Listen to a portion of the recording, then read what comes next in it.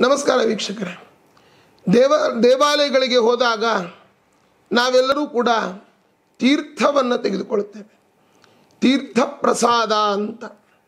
ತೀರ್ಥ ಅಂತಂದರೆ ಆ ಕಲಶವನ್ನು ಇಟ್ಟು ಕಲಶದಲ್ಲಿ ಎಲ್ಲ ದೇವತೆಗಳ ಆವಾಹನೆಯನ್ನು ಮಾಡ್ತೇವೆ ಕಲಶಸ್ಯ ಮುಖೇ ವಿಷ್ಣು, ಕಂಠೆ ರುದ್ರ ಸಮಾಶ್ರಿತ ಮೂಲೆ ತತ್ರ ಸ್ಥಿತೋ ಬ್ರಹ್ಮ ಮಧ್ಯೆ ಮಾತೃಗಣ ಸ್ಮೃತಾ.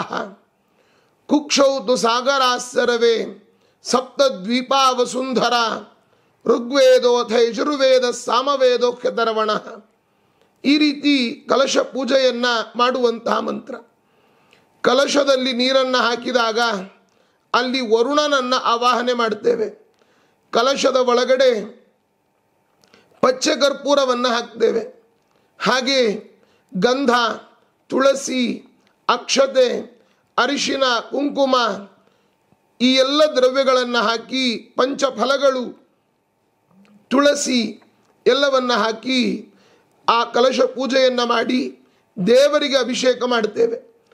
ಆ ಅಭಿಷೇಕ ಮಾಡಿದ ತೀರ್ಥವನ್ನು ನಾವು ಕುಡಿದಾಗ ಆಯುರ್ವೇದ ಶಾಸ್ತ್ರದ ಪ್ರಕಾರ ಪಚ್ಚೆಗರ್ಪೂರ ಕೇಸರಿ, ಏಲಕ್ಕಿ ಈ ಎಲ್ಲ ದ್ರವ್ಯಗಳು ಮಿಶ್ರಣವಾಗಿ ತುಳಸಿ, ಈ ಪದಾರ್ಥಗಳು ಮಿಶ್ರಣವಾದ ಆ ನೀರನ್ನು ಕುಡಿದಾಗ ನಮಗೆ ಹೃದಯದಲ್ಲಿದ್ದ ಬ್ಲಾಕೇಜ್ಗಳು ಹಾರ್ಟಲ್ಲಿದ್ದ ಬ್ಲಾಕೇಜ್ಗಳೆಲ್ಲ ಕ್ಲಿಯರ್ ಆಗ್ತದೆ.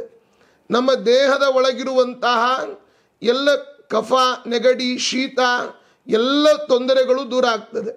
ಅದಕ್ಕೆ ತೀರ್ಥವನ್ನು ತೆಗೆದುಕೊಳ್ಳುವಾಗಲೂ ಕೂಡ ಪ್ರಥಮಂ ಕಾಯಶುದ್ಧ್ಯರ್ಥಂ, ದ್ವಿತೀಯಂ ಧರ್ಮ ಸಾಧನಂ ತೃತೀಯಂ ಮೋಕ್ಷಮಾಪ್ನೋತಿ, ಏವಂ ತೀರ್ಥಂ ತ್ರಿದಾ ಪಿಬೇತ್ ಅಂತ ಹೇಳ್ತಾರೆ. ಆ ತೀರ್ಥವನ್ನು ಕುಡಿಯೋದರಿಂದ ಸಕಲ ರೋಗಗಳು ಕೂಡ ದೂರ ಆಗ್ತಾ ಇದೆ. ದೇವರಿಗೆ ಅರ್ಪಿಸಿದ ಅನ್ನವನ್ನು, ಆ ಪ್ರಸಾದವನ್ನು ತಿನ್ನೋದರಿಂದ ಆಹಾರವೇ ಒಂದು ಅಂಶದಿಂದ ಮನಸ್ಸಾಗ್ತದೆ. ನಾವು ಎಲ್ಲಿಯೋ ದಾರಿಯಲ್ಲಿ ಬೀದಿಯಲ್ಲಿ ಸಿಗುವ ಆಹಾರಗಳನ್ನು ತಿಂದರೆ ದಾರಿಯಲ್ಲಿ ಬೀದಿಯಲ್ಲಿರೋ ಬುದ್ಧಿಯೇ ನಮಗೆ ಅದು ಜಾಸ್ತಿ ಆಗ್ತದೆ. ದೇವರ ಪ್ರಸಾದವನ್ನು ನಾವು ತಿಂದಾಗ ನಮ್ಮ ಮನಸ್ಸು ತುಂಬ ಶಾಂತವಾಗಿ ಇರ್ತದೆ.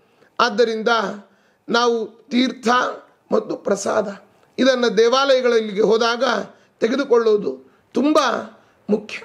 ನಿಮ್ಮ ಮನೆಗಳಲ್ಲಿ ಬೂಂದಿ ಲಾಡುವನ್ನು ಮಾಡಿದರೆ ಅದು ತಿರುಪತಿಯ ಪ್ರಸಾದ ಯಾವತ್ತೂ ಆಗೋದಿಲ್ಲ.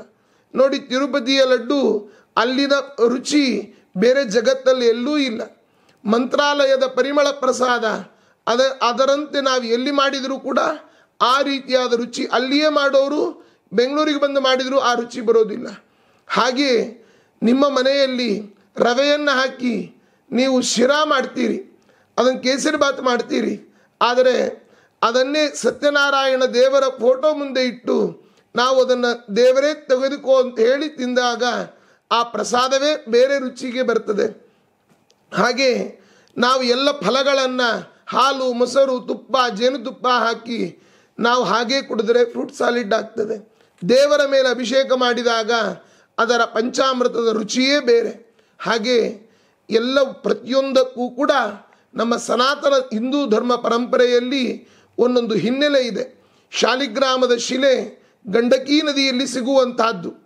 ಪಂಚಲೋಹಗಳ ಪ್ರತಿಮೆಗಳು ಅದರ ಮೇಲೆ ಹಾಯ್ದು ಬಂದ ಹಾಲು, ಮೊಸರು, ತುಪ್ಪ ಎಲ್ಲ ಅದರಲ್ಲಿರುವ ಅಂಶಗಳನ್ನು ಹೊತ್ತು ತಂದಿರ್ತದೆ. ಅದನ್ನು ನಾವು ಸ್ವೀಕರಿಸಿದಾಗ ದೇಹದ ಆರೋಗ್ಯವನ್ನು, ಸ್ವಾಸ್ಥ್ಯವನ್ನು ಕಾಪಾಡೋದರಲ್ಲಿ ಸಫಲ ಆಗ್ತದೆ. ಆದ್ದರಿಂದ ತೀರ್ಥ ಪ್ರಸಾದ ಬಹಳ ಮುಖ್ಯ.